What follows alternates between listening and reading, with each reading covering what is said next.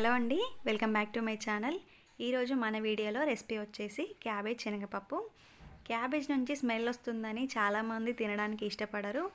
కానీ ఈ క్యాబేజ్ వల్ల మనకు ఇమ్యూనిటీ పవర్ అనేది ఎక్కువగా పెరుగుతుంది. అదేవిధంగా స్మెల్ రాకుండా కర్రీ టేస్టీగా ఉండాలంటే నేను ఒకసారి చూపించినట్లుగా మీరు కర్రీని ప్రిపేర్ చేసుకోండి. చాలా టేస్టీగా ఉంటుంది. తప్పకుండా మీకు నచ్చుతుంది. ఇప్పటి నుంచి ఈ కర్రీ మీకు ఫేవరెట్గా తయారవుతుంది. ఓకే మరి ఇప్పుడు లేట్ చేయకుండా వీడియో స్టార్ట్ చేసేద్దాం.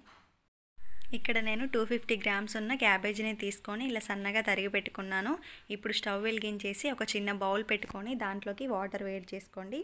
వాటర్ మరిగిన తర్వాత కట్ చేసి పెట్టుకున్న క్యాబేజీలోకి ఈ వాటర్ని వేసుకొని ఒక పది నిమిషాలు అలా వదిలేసేయండి.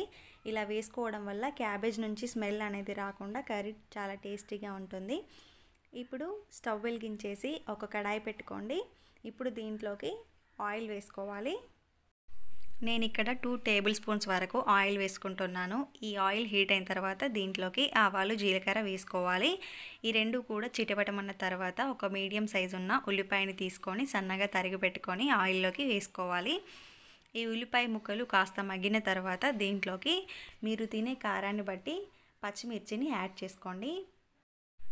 ఈ పచ్చిమిర్చి కాస్త ఫ్రై అయిన తర్వాత దీంట్లోకి వన్ స్పూన్ వరకు అల్లం వెల్లుల్లి పేస్ట్ని యాడ్ చేసుకోవాలి.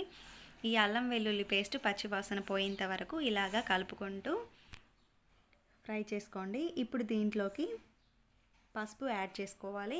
ఇప్పుడు ఇదంతా కూడా ఒకసారి కలిపేసుకున్న తర్వాత దీంట్లోకి మీడియం సైజు ఉన్న ఒక రెండు టొమాటోలను తీసుకొని సన్నగా తరిగి పెట్టుకొని ఈ ఆయిల్లోకి వేసుకొని ఒకసారి అంతా కలిపేసి దీనిపైన మూత పెట్టుకోండి.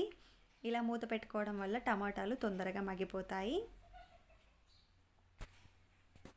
ఇప్పుడు మూత తీసిన తర్వాత టమాటాలు ఇక్కడ మగ్గిపోయాయి. ఇప్పుడు దీంట్లోకి మనము క్యాబేజీని వేసుకోవాలి. ఇందాక మనము క్యాబేజీలో వాటర్ వేసుకొని ఒక పది నిమిషాలు ఉంచుకున్నాం కదా. ఇప్పుడు ఆ వాటర్ అన్నీ కూడా స్ట్రెయిన్ చేసేసుకొని క్యాబేజీని మాత్రమే దీంట్లోకి యాడ్ చేసుకోవాలి.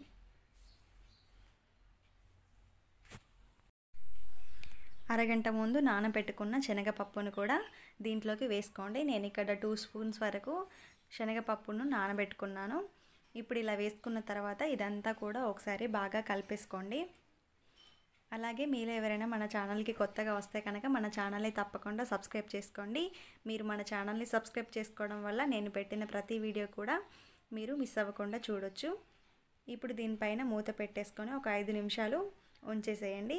ఇప్పుడు మూత తీసిన తర్వాత మీ టేస్ట్కి తగ్గట్టుగా ఇక్కడ మీరు సాల్ట్ని యాడ్ చేసుకొని ఒకసారి ఇదంతా కలిపేసుకొని దీనిపైన మూత పెట్టుకోవాలి. మంటని మీడియం ఫ్లేమ్లో పెట్టేసుకొని పది నుంచి పదిహేను నిమిషాల మధ్యలో ఈ కర్రీని కుక్ చేసుకోవాలి. మధ్య మధ్యలో ఒక్కొక్కసారి మూత తీసుకొని ఈ కర్రీని కలుపుతూ ఉండండి. పదిహేను నిమిషాల తర్వాత కర్రీ మనకు రెడీ అయిపోతుంది. ఇప్పుడు దీనిపైన సన్నగా తరిగి పెట్టుకున్న కొత్తిమీరని వేసుకొని స్టవ్ ఆఫ్ చేసుకోండి.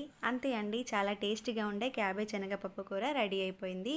దీన్ని మీరు రైస్ చపాతి రోటీ పుల్కా దేంట్లోకైనా కూడా సర్వ్ చేసుకొని తినేయొచ్చు అనమాట ఓకే అండి. తప్పకుండా ట్రై చేయండి. ఎలా వచ్చింది అనేది నా కింద కామెంట్లో షేర్ చేయండి. కొత్తగా మీరు ఎవరైనా మన ఛానల్ని చూస్తే కనుక కింద మీకు రెడ్ కలర్లో సబ్స్క్రైబ్ అని రాసి పెట్టింది కదా దాన్ని ఒకసారి క్లిక్ చేస్తే బెల్ వస్తుంది. ఆ బెల్ని కూడా ఒకసారి టచ్ చేస్తే నేను ఎప్పుడు ఎలాంటి వీడియో చేసినా కూడా మీకు నోటిఫికేషన్లో వస్తుంది. Okay friends.